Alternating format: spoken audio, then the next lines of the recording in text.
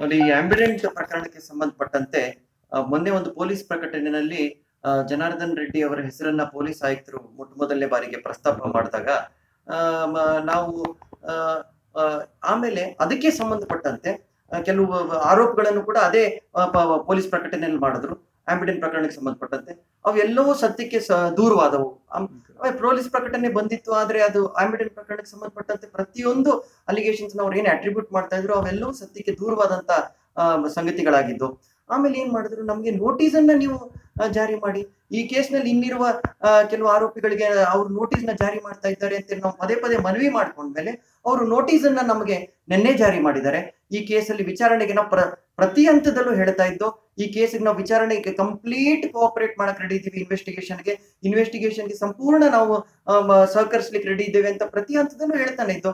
ಈಗ ಅವ್ರು ವಿನಾಕಾರಣ ಸಿ ಕಚೇರಿಗೆ ಹೋಗ್ಬೇಕು ಅಂದ್ರೆ ನಮ್ಗೆ ಅವ್ರು ಬಾ ಅಂತ ಕರಿತಾನೆ ಇರಲಿಲ್ಲ. ನಿನ್ನೆ ದಿನಾನೇ ಅವ್ರು ನಮ್ಗೆ ಸಿ ಕಚೇರಿಗೆ ತಾವು ನಾ ಭಾನುವಾರ ಹಾಜರಾಗ್ಬೇಕು ಅಂತ ಹೇಳಿ ನೋಟಿಸ್ನ ಜಾರಿ ಮಾಡಿದ್ದಾರೆ.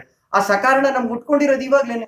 ಸಿ ಅಧಿಕಾರಿಗಳು ಯಾರು ನಮ್ಗೆ ತನಿಖೆಗೆ ಸಹಕರಿಸಿ, ತನಿಖೆಗೆ ಬನ್ನಿ ಅಂತ ಕರೀದೇನೆ. ಮಾಧ್ಯಮ ಪ್ರಕಟದಲ್ಲಿ ಇವ್ರ ಹೆಸರನ್ನ ತಗೊಂಡ್ಬಂದು ಇದು ಬಹಳ ಗುಮಾನಿಗೆ ಎಡೆ ಮಾಡಿಕೊಟ್ಬಿಟ್ಟಿತ್ತು. ನೇರವಾಗಿ ಅವ್ರು ಇದೇ ನೋಟಿಸ್ನ ಮುಂಚೆ ಯಾವಾಗಾದ್ರೂ ನಮಗ್ ಜಾರಿ ಮಾಡಿದ್ರೆ ನಾವು ಯಾವತ್ತೋ ಬಂದ್ಬಿಡ್ತಾ ಇದ್ವು ಸಿ ಸಿ ಬಿ ಆಫೀಸ್ಗೆ ಈಗ ಅದನ್ನ, ಈಗ ತಡ ಆದ್ರೂ ತೊಂದರೆ ಇಲ್ಲ. ನಿನ್ನೆ ದಿನ ಅವರು ನೋಟಿಸ್ ಅನ್ನ ಕೊಟ್ಟಿದ್ದಾರೆ. ಭಾನುವಾರ ಬರ್ಲಿ ಅಂತ ಆದ್ರೂ ಕೂಡ ನಾವು ಸ್ಪಷ್ಟ ನಿಲುವನ್ನು ತಾಳಿದ್ದೇವೆ. ಯಾಕಂದ್ರೆ ಈ ಕೇಸ್ಗೂ ನಮಗೆ ಯಾವುದೇ ರೀತಿಯಾದ ಸಂಬಂಧ ಇಲ್ಲ. ಈ ಕೇಸಲ್ಲಿ ಏನು ಉರುಳಿಲ್ಲ. ಆದ್ರಿಂದ ಈಗ ತನಿಖೆಗೆ ಸಂಪೂರ್ಣವಾಗಿ ಸಹಕರಿಸಲು ನಾವು ಸಿಸಿಬಿ ಕಚೇರಿಗೆ ಅವ್ರು ಕರೆದಂತೆ ವಿಚಾರಣೆಗೆ ತನಿಖೆಗೆ ಸಹಕರಿಸಲಿಕ್ಕೆ ನಾವು ಇವಾಗ ನಾವು ಹೋಗ್ಲಿಕ್ಕೆ ಸನ್ನರಾಗಿದ್ದೇವೆ ಈಗ ನೇರವಾಗಿ ನಾವು ಸಿಸಿಬಿ ಕಚೇರಿಗೆ ಹೊರಡ್ತಾ ಇದ್ದೇವೆ.